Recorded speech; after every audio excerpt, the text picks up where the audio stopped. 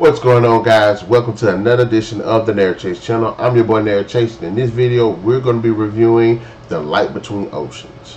Now before we start this review I forgot to tell you guys we're trying to get to 500 subscribers by the end of the year and so we greatly appreciate if you hit that like, share, subscribe and that notification button to get the best of what we got going on in this channel as well as me reminding you that hey on the weekends we do upload more videos so every weekend you get to see your boy Narik Chase and all the great content that we put out. So without further ado, let's get into the review.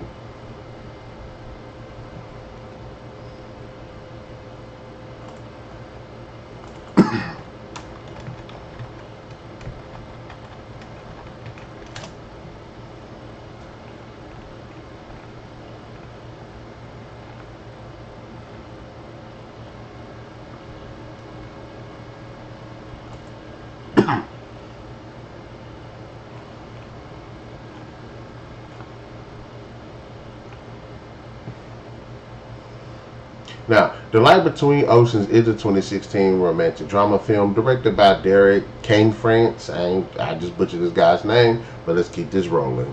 And it's based off the 2012 novel of the same name by M.L. Stedman. I bought the book because I like the movie so much, so I can't wait to read that book and do a review on it.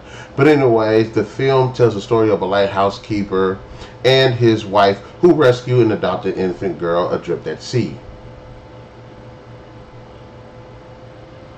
And years later, the couple end up discovering the truth.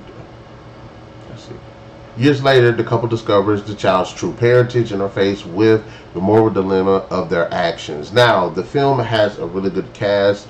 Let's just go ahead and just talk about the two leads. Michael Fassbender and Alicia Vikander are two performers that I've greatly appreciated their films. I really like both of them. I thought they did a great job in this movie. They had such good chemistry together. I really enjoyed the characters. I really felt the love that these two characters have for each other, the tension that uh, followed them, especially giving some of the problems that they have to face within the film. And I really uh, did appreciate that. And I have to say, Rachel Weisz, I really appreciated her. I thought she brought a good amount of depth and her, she just brought an A game in this film. I was just thoroughly surprised. She is a good actress and I love seeing her in a role like this. So thumbs up to the performances. Like I said, I really did appreciate the actors and actresses in this film.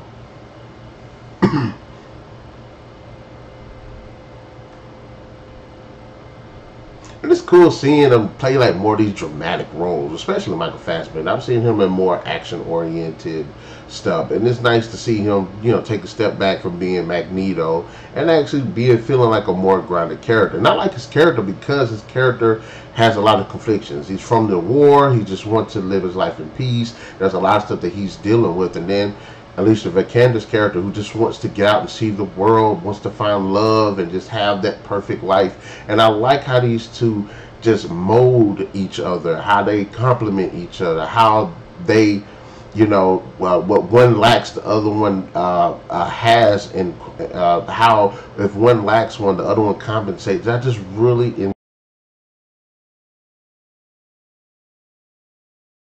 This is probably some of the best acting I've seen between a man, uh, an actor and an actress in the film in quite some time, and I actually bought these two.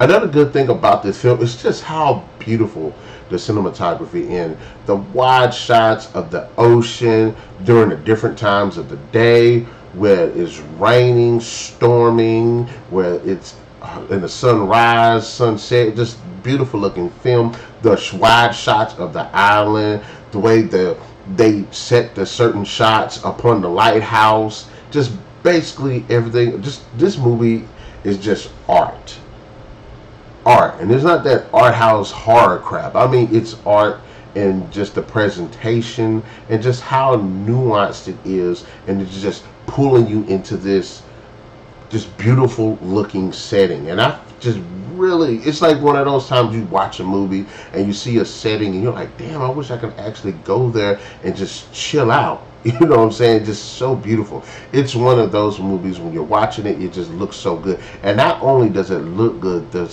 music behind it just helps emphasize just how well put together this film is, just how well it looks, and it just gives it so much depth. It puts the meat in the stew.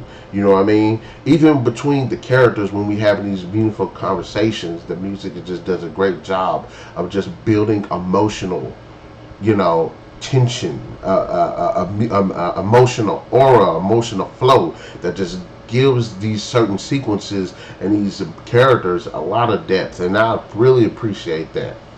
Now, Derek Kane France, Cayenne France, I don't know how to say this guy's name. I'm tired of butchering it, quite frankly. I have to say he had great direction.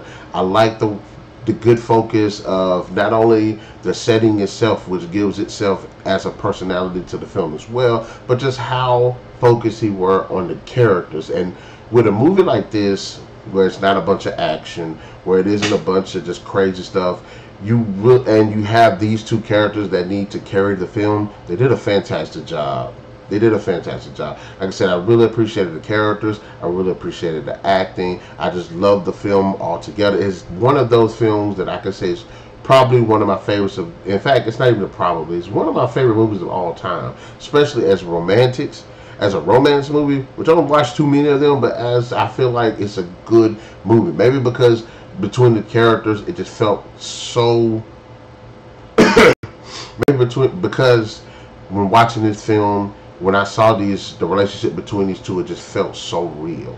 And then later on, when they, when they have this dilemma of, you know, when they have this big moral dilemma, how human they feel in their actions.